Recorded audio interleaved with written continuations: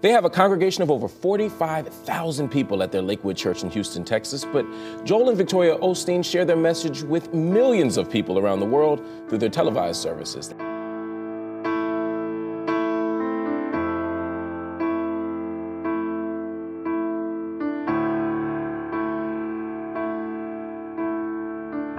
In terms of rules, I mean, the big ones are easy, right? Like you probably shouldn't steal, you probably shouldn't kill people. Um, those are things that probably all religions kind of agree on, right? There's no contention. But like an issue like gay marriage, people look to the ministers for for for, uh, for leadership. Is that an issue that's for you against the rules? Um, you know, it, it, it, would be, but Mark, I, I, don't, you know, I don't really focus on a lot of those things. I try to stay in my lane of what I feel called to do, mm. and that, that does come up in, in interviews and things, but just don't feel like that. That's not my core message. My core message is how do you, how do you have a healthy self-image? How do you let go of the past? How do you raise good children? How do you reach your dreams?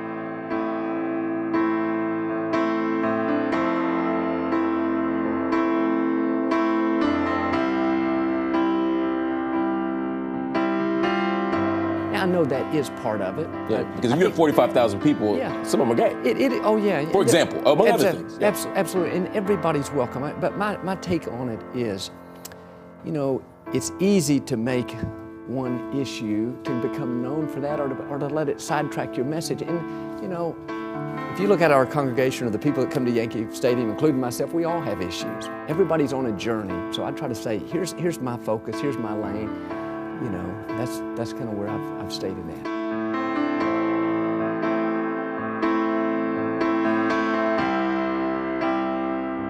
A question coming in from uh, Black 185 in our in our uh, digital community said, "Do you do you think I'm assuming uh, LGBT community and the Black church can coexist?" Absolutely. I, I, let me push that question because that, that's sort of an obvious yes. Church ain't turning nobody away how should the black church and LGBT community exist? I think it's going to be diverse from church to church. Every church has a different opinion on the issue, and every gay person is different. And I think that to to speak the church, the black church or white church or any kind of church you want to call it, are all the same is totally, totally not true.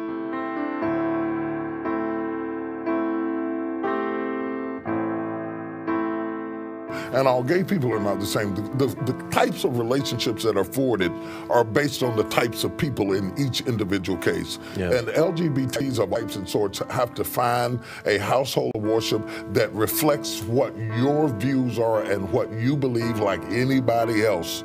And the church should have the right to have its own convictions and values. If you don't like those convictions and values, you totally disagree with it, don't try to change my house, move into your own.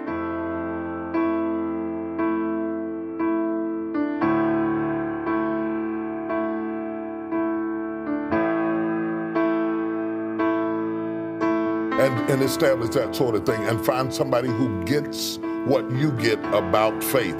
And uh, trust me, I've talked to enough LGBT, they are not all of the same. Oh, for sure. Any more than all Christians No, no. Uh, but how, how, do we, first of all, has your thinking evolved on this? E evolved and evolving.